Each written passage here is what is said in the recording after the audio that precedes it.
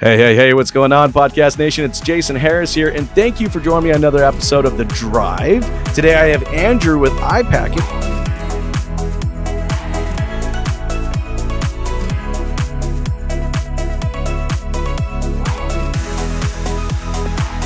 Andrew, what's up, man? How you doing? What's going on, man? I'm great. I'm great. Just uh, enjoying our time out here in Vegas. Dude, I am so glad that we got a chance to connect. You know, I've just like I've been a big fan, right, of iPacket for a long time, and it's just like when we had that opportunity to say, like, look, we got to jam about this because Oh, yeah. you know we were talking a little bit about before we kind of got in here, just a lot of the things are going on in the industry, a lot of changes. We're getting back to basics. We got to start selling stuff. So I am super super excited to dive into this. But before we kind of dive into this, for everybody out there watching, and listening right now, don't know what iPacket is. Yeah. All right. What was kind of that aha moment for for the company that was like, hey, that's problem and we should go solve it?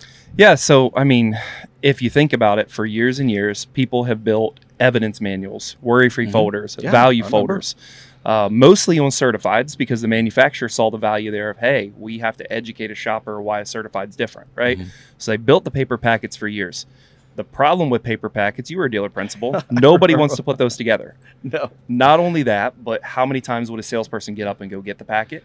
How many times would they forget to put it back? So now you're going to make a brand Or new keep one. it updated. Uh, oh, definitely all lost the bad all logistics. the time. Yes. Yeah, all the bad logistics that go along with paper packets.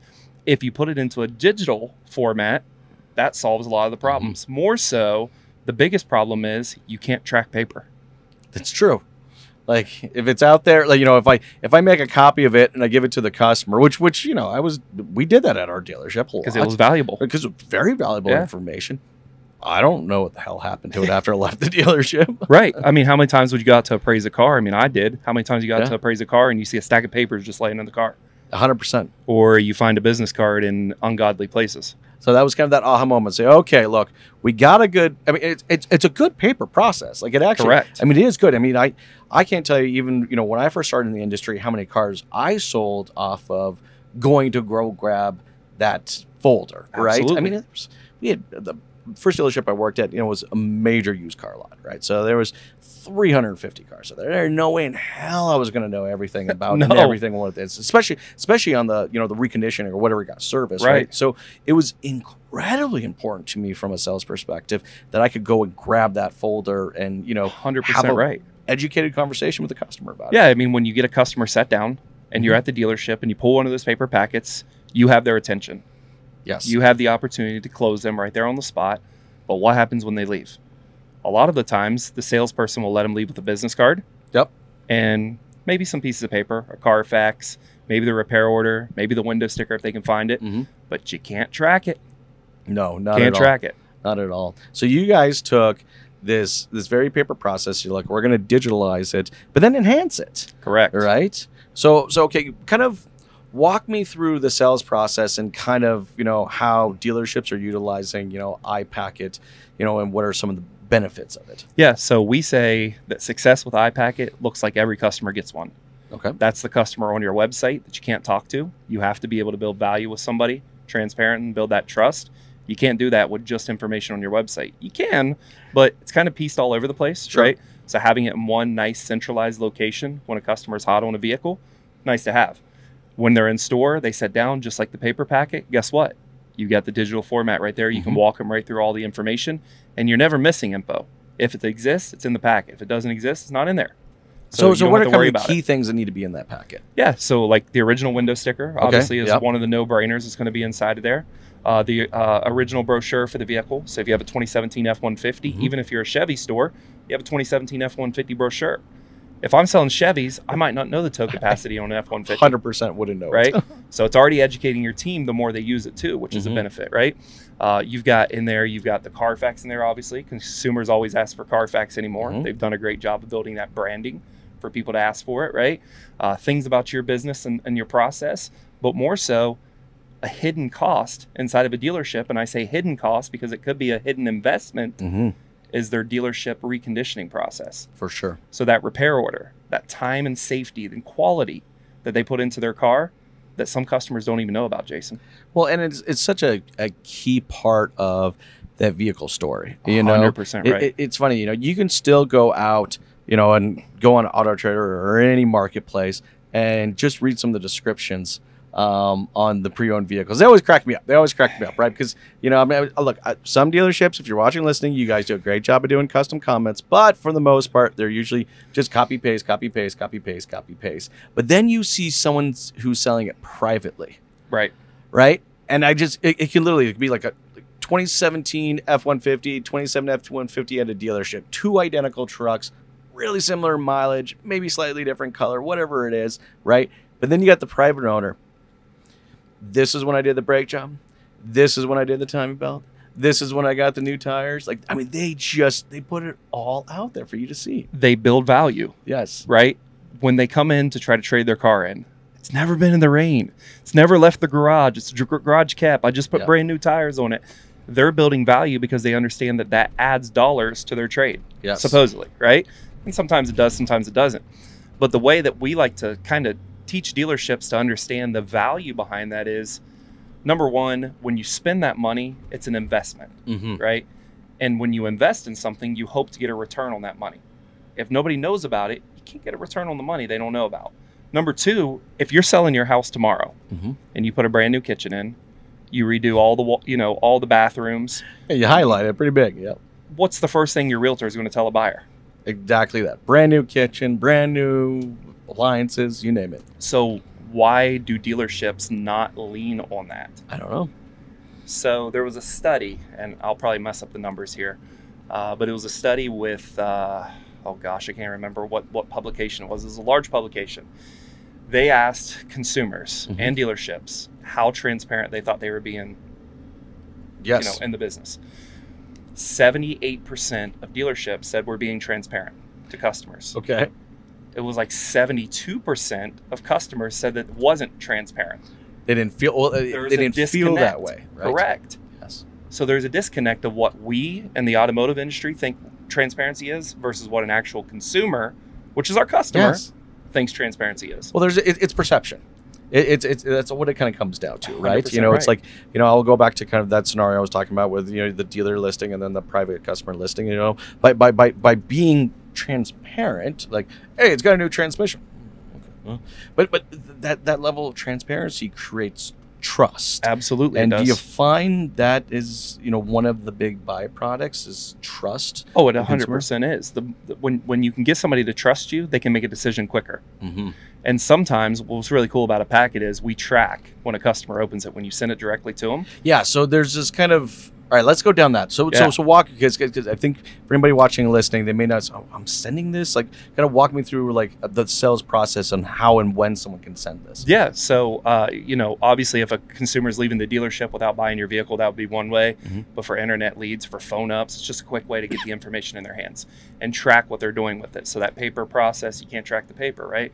So, you send it to the customer. Number one comes a digital business card right away. Yes. So, how many So I have all my salesperson's information on there. They They're not going to talk to a customer and not hand them a paper card. There you go. They Most include good, picture. most of the, good they- they- They salespeople. include a picture of themselves. Absolutely. Maybe a quick little video. So it's a digital business card that tells the story of the vehicle to the shopper. Now, what's Yeah. cool about that is we alert a salesperson every time the customer opens that packet. Mm. Not just getting in an email, and not just getting into a text message. There are a lot of companies that are like, "Hey, great job! You got a customer open your email." well, what if Jason like clicked it in his pocket, or Sure. what if he clicked it to delete it? It's not a good time to follow up with him if he deletes Probably something. He, he didn't like something. We only tell a salesperson when a customer actually gets into the packet in the email. It's intentional Okay. right? What happens from that is you can tell right away when the customer is inside of it, so you know when to follow up with them. Yes. But more so, it does that initial heat check. So what I mean Mm. by that is, if I call you after I get one of those alerts, couple minutes, Jason, Andrew over at the dealership, I sent you over information on that, you know, vehicle you were looking at today. Did you get a chance to look at it? Yep. If you tell me yes and I got the notification, you trust me. Sure. If you tell me no and I got the notification, I don't have your trust yet. That's a good point. So it gives me an initial heat check right away. Mm-hmm. But then all that information inside of the packet, think of how important it was to know. We do needs analysis, right? Sure. Sometimes they're not great. No, Right? no, 100%. You know, we, we think this is what they want and this is possibly, and then we, but there's a lot of assumptions made. Let's say that. Yes. So what we do is not only track when a customer opens it, Jason, but we show them specifically where the customer spends their time and engagement. Ah, okay, there you go. Now that's now now I'm actually kind of getting into the head of my consumer, my customer a little bit because I'm actually seeing, you know, which documents are they really looking at and what time they're spending. hundred percent. Yeah. So you know exactly where to tailor that conversation, Yeah. whether it's good or bad. And what I mean by bad is Carfax, for instance. Well, yeah, right? yeah, you can get ahead of the conversation. Like, let's say, you know, I, I okay, I can see this. I can see this. So, so, so, uh, customer opens up six times, but you know, every time that they're opening up, they're constantly just going straight back to the Carfax. Yeah. They're looking at the Carfax. They're Yeah. spending a lot of time with that particular page. Yeah. open. And guess what? When I go to look at that Carfax as a salesperson, there's one accident on it. Yep. What do I need to overcome when I pick up the phone? Well, that's the first thing, right?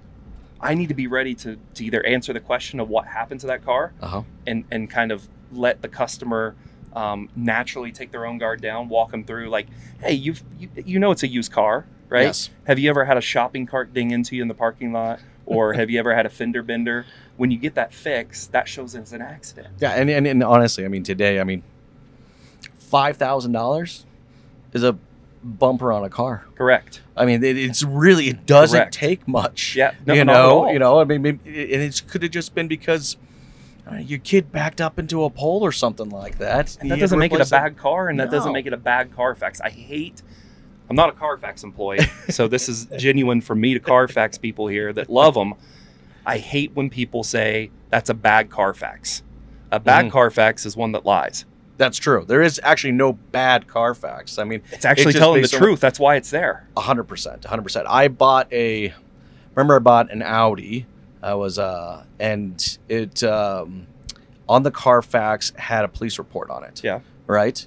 And you know, I think any consumer go. Well, somebody had sideswiped it. All right, and a police report had to be created. That was Correct. it. That was it. Yeah. That was it. The car wasn't even in motion. Yeah. Somebody else hit it, but a police report was generated Yeah. on it. But it also probably got fixed properly Yeah. by the right people. And sometimes those cars are owned two, three, four times Mm-hmm. after that accident happened. Yes. So why should a consumer look at an accident as a negative thing?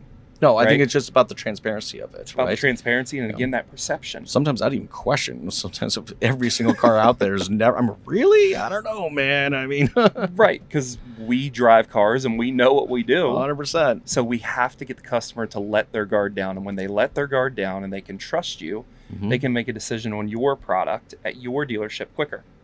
So it's really the ultimate trust building packet of information that's digital across all realms. Well, and I think it's amazing you guys are able to have this monster library of brochures to go along with it, right? I mean, just because like, who gets a brochure for a 2015 Ford Flex? You know, iPacket like- does. I mean, well, see, I mean, but, but I mean, that's cool though. I mean, it's just to be able to say, okay, like, hey, this is what the car was new. These were the specs on it. Because again, even as a salesperson, I mean, I see, this is what I think as a salesperson, it increases my level of confidence. 100%. All right, I can go in knowing that, hey, this was an SEL package with a panel roof. Yes. All right, and you know, I can talk to what was that, you know, package, and then when they come back and say, yeah, but we're looking at this other one, well. Which one? Which model was Right. that? Which trim was it? Because Yeah. they don't offer a panorama roof in that car. exactly? right? Not only that, but if you think about, we'll get a little bit more advanced here. We've been talking about just sending a customer a packet. Let's talk about a phone up. Okay, let's do They that happen in the dealership all the time. all the time. Okay. A lot of BDCs, unfortunately, are phone robots, Sure. meaning they've never sold cars before and Yeah. they're just there to try to set an appointment. And sometimes they can be totally off-site. 100%. So let's say a customer calls in about a car and you have iPacket. Mm. Okay. Well, let's let's play that you don't have iPacket first. So the customer calls in about a car. We'll use the 2017 Ford F-150. It just Yep. always comes to my brain. So customer calls in about the car. Let's say you're the customer. You call in. I'm like, hey, Jason. Uh, yeah, I'd love to answer questions about that Ford F-150. What kind of questions do you have for me? Mhm. Well, consumer is normally going to ask you something, Yep. right? A lot of the times, what's the go-to line if they don't know the answer as a, as a, as a BDC rep? What do they say? I don't know. Not only that, I hope they don't say I don't know. I don't know. That kills the I gotta be honest, conversation right I away. audit a lot of conversations, and I'm going to tell you, you would be surprised how many times the response is, Okay, so we got to get know. back to trading right away. But a lot of the times, at least in, in my experience, a lot of the times it was like, "Hey, Jason, I know that's an important question to you. I want to find the answer for you. Can I give you a call back?" "That's the proper answer." But it's not a good answer still because what happens when I go to call you back? Well, it, I don't know if you're available. I mean, honestly, who answers their phone these days? Correct. Anyways, you don't know? answer. You gave So, me an like- opportunity while I was on the phone with you right then. You wanted me to build your trust, just like we talked about while we were on the phone. Yeah, by this time, I probably already called another dealership. 100%. You've already moved on. You gave me that opportunity. I dropped the ball. Yep. So we start playing phone tag. We go back and forth, right? I missed an opportunity. How about if you had iPacket, right? Mhm. You have all that information right at your fingertips. So you ask me a question, I start answering these questions. Hey, does it, ha- you know, tell me about the Carfax. Boom, boom, boom, boom. Hey, does it have a panorama roof on it? Look at the window sticker. Yeah, it has panorama roof. It has the navigation system. It has 20 inch alloy wheels on Yeah. it. I'm building value, right? And then I say, hey, Jason, you know, the reason I'm able to answer these questions so quickly and efficiently is I have a full history and reconditioning report on this car right in front of me. While we're on the phone, can I share it with you so we can look at this together? There you go. Trans over the conversation. We Yep. take a verbal Yep, like conversation and we turn it into a visual presentation where you're going back and forth with the consumer on the phone. Mm. How much trust did I just build with that consumer Yeah, because I can now email it to them and actually review it with them in real time. while we're right on the phone? That's awesome. So if you hang up the phone and you try to call another dealership and you don't get that experience, who looks like the rock star that you're going to come back to? Yeah, it's not one of those, hey, let me go find out and I'll call you back scenarios. Correct. You're answering all the questions, and, and we teach them this, right? Yeah. Answer answer two or three questions for them, and then transition it over to, hey, the reason I can answer this because I have it right in front of me. Well, full transparency. And while we're on the phone, And trust let's and go time. over it. yeah. Let's go over it. So we do that visual presentation. You're looking at it on your end. I'm showing Mm-hmm. you things on my end. It becomes very easy to set that appointment. Very easy. Oh yes. Well, because to your point, you know, we've created that trust.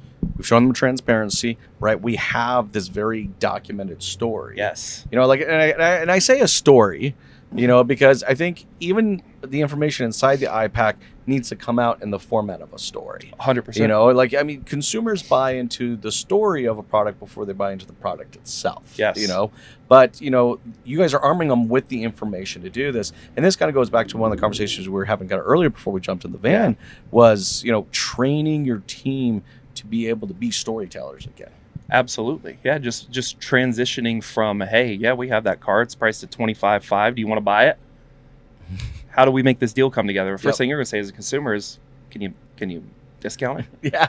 You want to build value. We call it the pre number process. Mm-hmm. The battle for growth starts when? When do you think the battle for growth starts with a consumer?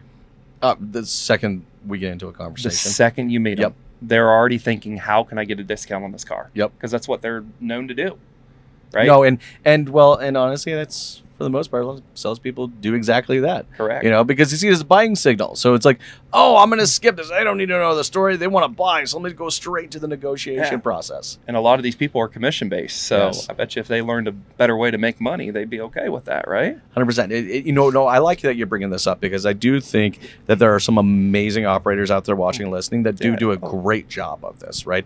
Of you know, really building the value, you know, before you get into negotiation process, you know. Uh, but you know, it- it's a training thing. You It know? is. It's just like that's. I don't because I don't see a lot of that happening right now. Right. Even though I don't, there are some great salespeople out there. Yeah, yeah. they so I, I think one thing that you have to understand is even if you're one of the best operators, they can't be at every salesperson's desk throughout the day. Hmm. So That's a great point. standardization, Yes. right? What I have in the packet is what the customer is going to see at every intersection of communication. Yes. So my salesperson is going to review it in store the exact way I want them to see it. Mm-hmm. My consumer is going to see it on my website the exact way I want them to see it. Yeah, because there's a lead ups- generation portion that we really haven't kind of talked about. I want to dive in a little bit of that because you know there's almost there's, there's kind of a branding element that kind of goes along with this, Sure. right? You know, because look, not every dealership is willing to offer this level of transparency. Sure. You know, so do you find that dealerships are really kind of embracing the branding, you know, opportunity of being transparent utilizing iPacket? Oh yeah, absolutely. I mean, we're not a lead provider. Yes. Not, I would never. I would never talk to a dealer and say I'm going to provide you not, leads. not not intentionally, Correct. but yes. so we're not sending you leads. I'm not guaranteeing you we're going to send leads. But if you think about, I think they said that. Uh, I think it was Cox came out with a study, Jason. They said that out of 10,000 customers that visit a website, only 2.5 percent of them convert into an actual lead. For sure. So there's a lot of people that bounce from website to website to website before they finally But, but, submit but think of the purpose of why they're doing that. because they're trying to find information that makes them exactly. They're trying to find information. good. That, well, they're not getting their question answered. Hence, they will continue. I mean, 14 hours we're all that they're researching. consumers. Yeah. We're going to do the same crap. Yeah. You know, if I can't find out why this, you know, Sony audio system's better than you know this Yamaha one, then I'm just going to go to another website until I ultimately end up finding. I'm going to start searching for the answer myself. yes. and that is the problem and and and really where that lead generation you talk about kind of Mhm. comes from is we give that consumer the ability to research on your website and keep it sticky on your website so when they get to a vdp that means they like that Yes. car right Of course. so once they get to that vdp let's keep them locked on your vehicle it's like selling in person Mhm. you would always tell your salespeople at least my manager did i'm sure you did too land them on a car land them on a car land them on a car right if they're in person Yes. once they love that car, they test drive it. Don't go show them other cars. Keep them Quickly. locked on that one. Think about a website. Customers, when they get on the VDP and they're looking for that information, they can't find it. They jump off. Of course. They They go. going. They start searching other websites, manufacturer websites, third-party websites. They're going all over the place to find it. What if they could just find it on your website? Hundred percent. Well, you know, not only can they find it on your website, but they're going to also get an understand reasons like, why am I asking twenty five grand? Right. Do you know what I mean? Yeah. Like, I Yeah. mean, I, don't- I don't think we ever do a great, you know, well, I mean, I think there are some great operators that do do uh, do a good job of answering. This is why we're asking twenty five grand for this car. You know, um, it, I only get that bits a piece of information when I get into the dealership. Correct. Sometimes, You Right. treat that customer that walks through the door as gold yes. when you already have that prospecting gold on your website that you never get a chance to meet. Mm-hmm. And there's only one way to build trust and value with somebody you never meet provide them with more information. Hundred Right. So having iPacket on your website is almost like having a closer on your website 24 7. I don't have a salesperson working my website. No. I might have a chat. It's Yep. probably a robot. They can't answer questions, right? Let the consumer do all the research on your website and your process, right? We've been talking a lot about what just we put in the packets.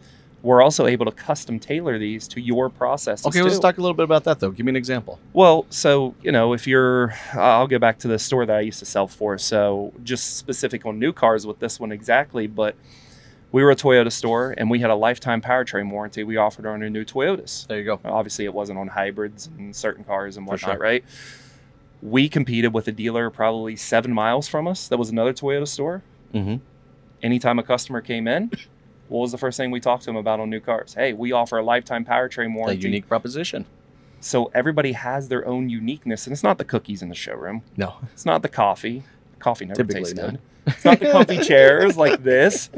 Your value proposition are the things that you offer the consumer that's part of your process. So we can put those in the packet. So again, like back to that Toyota story, if I'm building my new car packets for that dealership, I'm putting in the lifetime powertrain warranty so they can see that. Well, and that's huge. It's because, it, to your point, it's not necessarily what we do, but why we do it the way we do it. One hundred percent. You know That why buy. That why buy, man. I've I've seen some amazing why buys, and then I've seen some.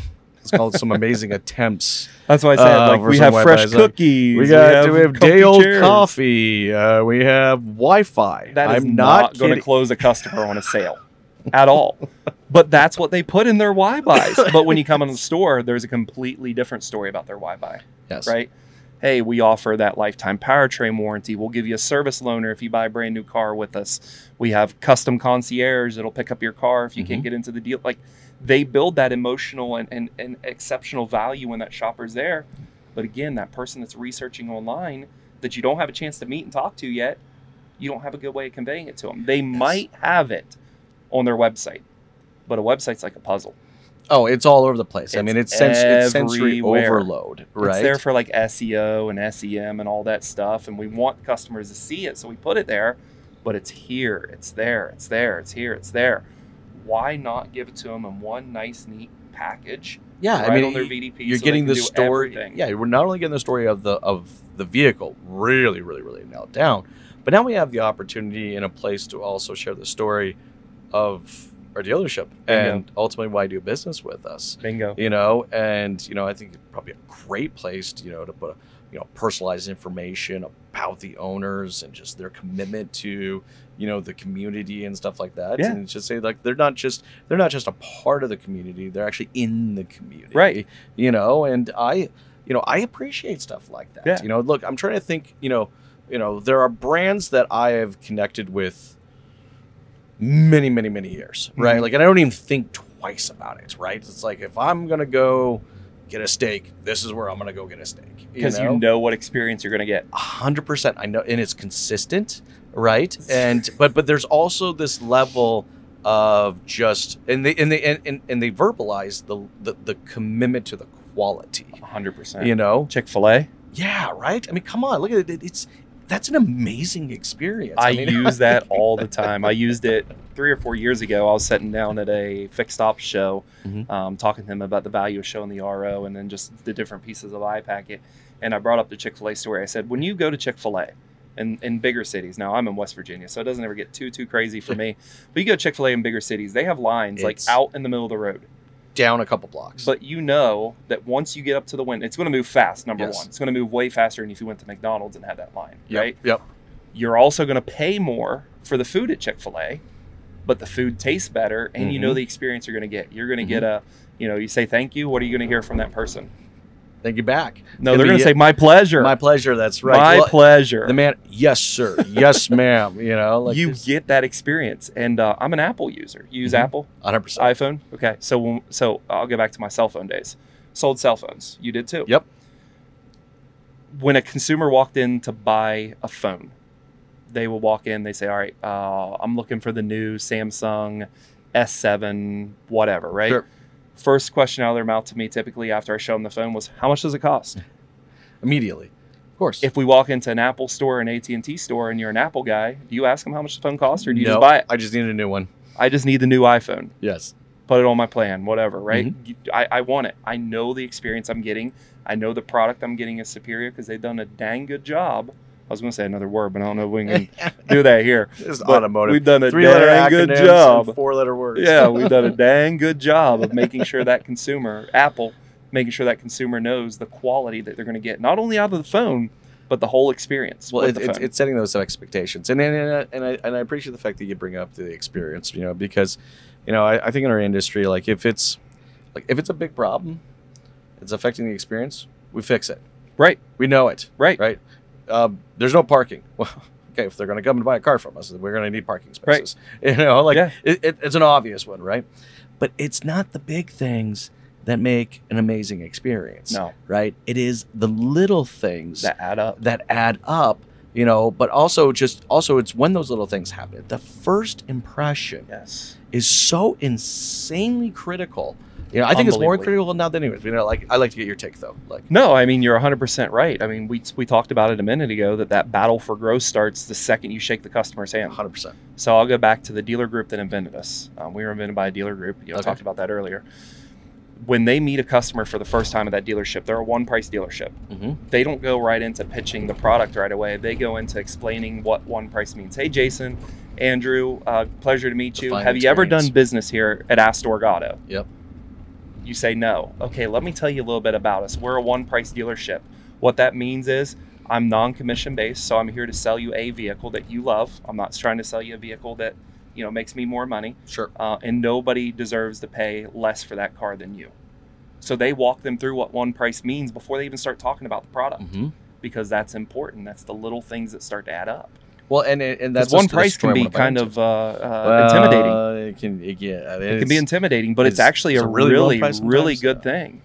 It is at Astorg. I well promise. no, that's what i'm saying there, there are dealerships that have made real say commitment I'm one price. there's some that have Yes. so okay so some that just used it as a marketing strategy Correct. Now let's talk about marketing from the perspective of iPacket because I don't know about you, but I'm listening to this and I'm looking at what this is, and it's like I would be including this as a part of my core marketing message. Yes. Do you find that some of the dealerships are doing this and how they benefit from that? Yeah. So actually, um, we actually have uh, we actually shoot like this uh, little I think it's like 30 second reel like explaining what iPacket is to consumer. Um, we don't have a whole lot of people that use this, and I don't know why. I guess maybe they've moved away from like advertising in this manner, or maybe they just don't understand the value that goes behind it. But Sure. we can put their dealership name at the end of it to say like you know come shop at you know Rohrman Sure. up in like Chicago area, right? Come shop at your local Rohrman dealer and ask for an iPacket today. Mm-hmm. So just kind of like Carfax has done, like branding, you know, the consumer to look at one before they buy a car. We're trying to get the consumers to understand that. Well, because that's how I want to shop. Yeah. I want to shop at an iPacket store. And inside the Yeah. iPacket, we also have. I want to know that I'm going to get this very transparent. Yes. All right, book like so. So let's even talk a little bit about like after the sale. Yeah. All right. So this is one thing, and, and funny enough, it actually you're going just, where I just, think you're going, that's just good. recently happened to me. So you know, like, I my 27, 2017 Nissan Armada. Yeah.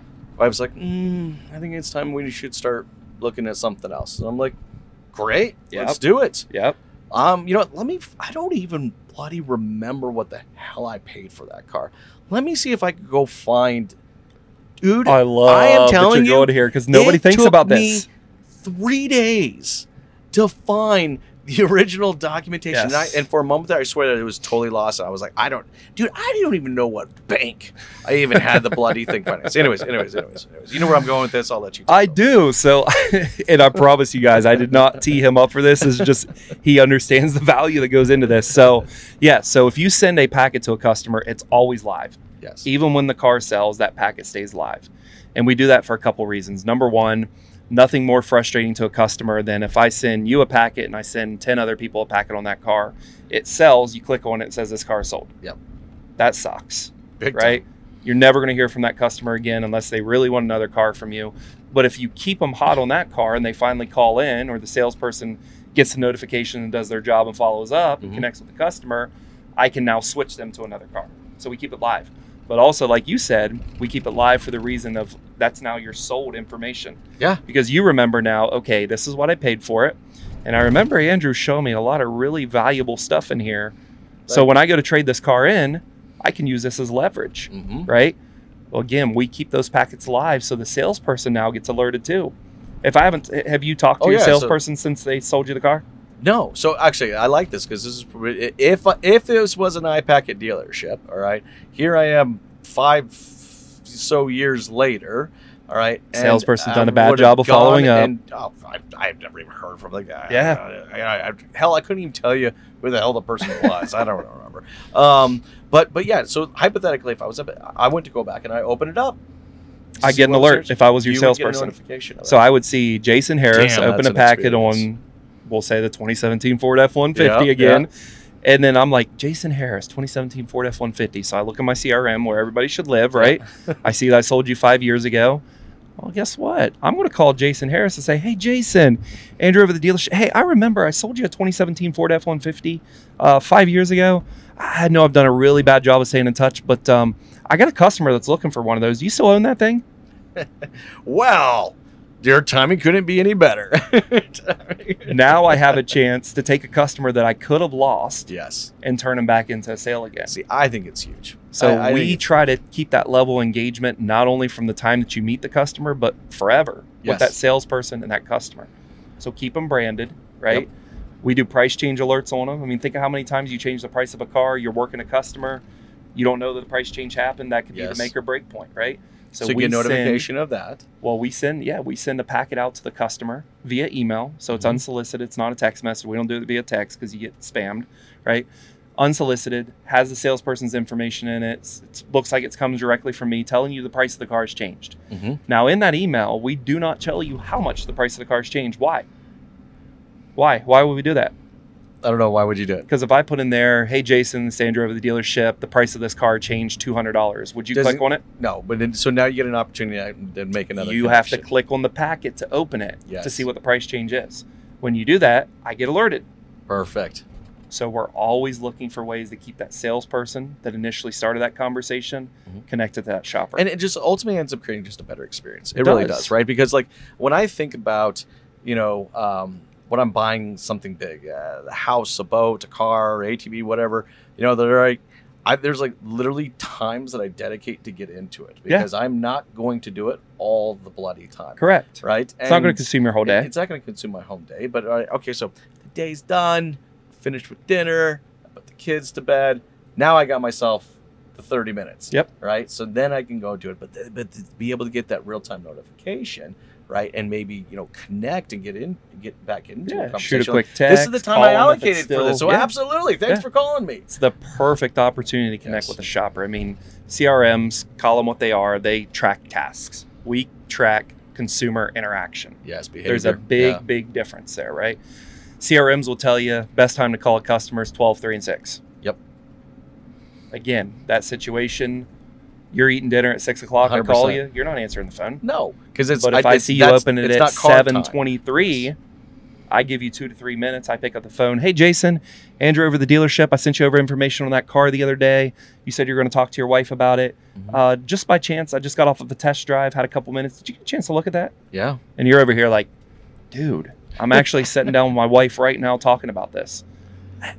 Man, uncanny timing, Jason. I mean, if you have a couple minutes, I, I'd love to answer any questions you guys have. Absolutely. So it gives them real time notifications to know it's time to spring into action. and that creates that experience it creates that transparency right and then it's just and and, and it creates a a consistent path of connection at meaningful times right Absolutely. look andrew i know we're getting towards the tail end of our time today and now we can easily continue to Yeah. chat this because it's one of my favorite subjects well because it's just it enhances the experience in such a huge way right but Yeah. before i let you go everybody out there watching listening right now love to connect with you and learn more about ipacket Yeah. what's the easiest way to do so Yeah, so uh, easy. ipacket.us is our website. Uh, we've got an incredible team that takes care of you not only from the time that we meet you and talk to you guys, but also once you guys become partners.